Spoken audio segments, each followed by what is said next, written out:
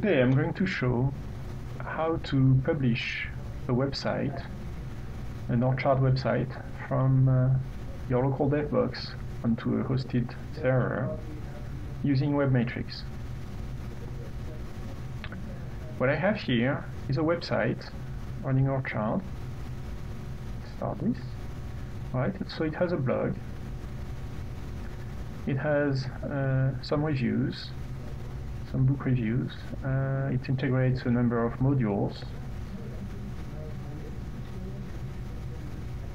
And it's a, it's a real website with actual content. So we can switch back to WebMatrix. And as you can see, it's using a SQL Express local database.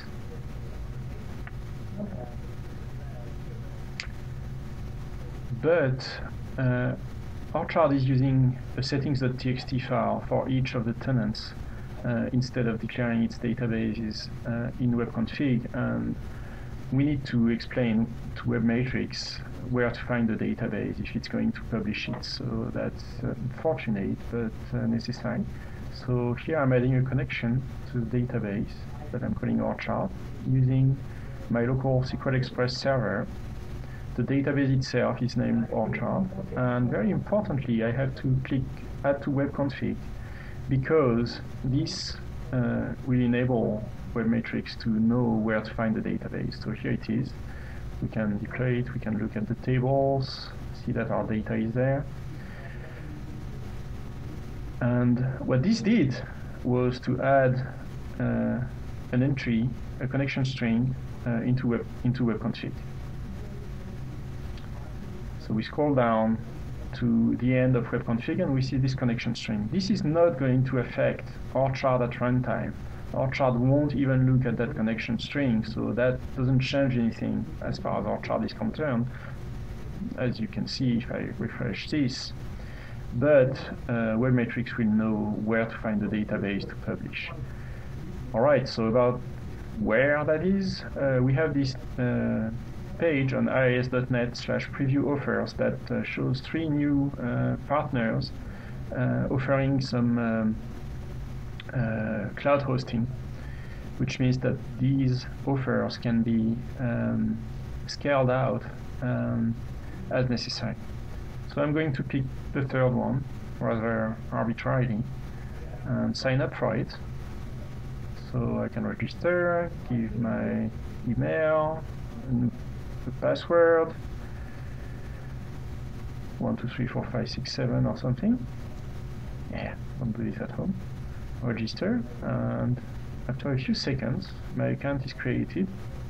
So now I can create a new site. I have a choice between adding from the gallery or adding from a blank site. I'm going to add from a blank site because I want a blank target to which to publish.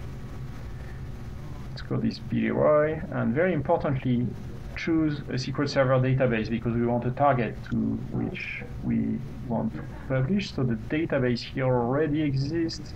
Yeah, that's uh, when I um, uh, when I prepared this demo. So I have to, and I didn't delete the database. Um, so I call it Bertrand instead. That should be almost equivalent. It will take a few seconds to actually create the site and the database.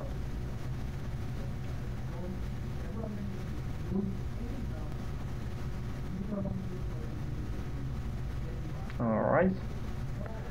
So our site is created and here on the bottom of the screen we have some publication information about that website. And we have that very uh, useful download button that enables me to download um, a little file that uh, contains the, that publication information. And that is a format that WebMatrix understands. So I can go back to WebMatrix, go to uh, Publish Settings, and import Publish Settings, and I can browse for this file, this one. And here it is. I have all my publication information, including the password, already filled out for me, and including the connection string for the target database. You can validate that connection to check that all the parameters are all right and working. And after a few seconds, there it is. It connected successfully. So we can save that information. And we have one more little thing to do here, which is that uh, because Orchard using, uses its own settings.txt file to point to the database for each tenant, uh, we need to um, change that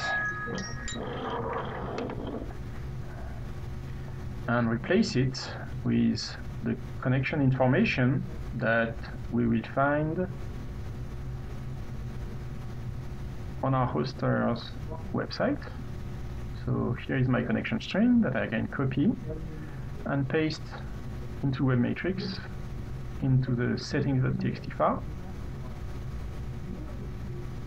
There. Can save that so that when I publish that uh, site uh, on the target, uh, it has the right connection string and connects to the right database. Alright, so I want to publish everything here, including the database. Continue. And here the publication protocol is not FTP, it's a, well, we could use FTP, but here we're using the much faster protocol that WebMatrix uh, introduced. Well, actually it's MS deployed. And as you see, this is actually very fast, especially when you know that Orchard is not uh, exactly a small application. It's a few megabytes of uh, content that is getting published right now. So as you can see on the bottom of the screen, the files are getting published, and this is this is it. It's done, including the database, which was pretty fast. So now I can go uh, back to the hoster's uh, admin panel, go to my site, look at my website, and I can use that URL here to uh, browse to the actual site. There you have it. Website is here.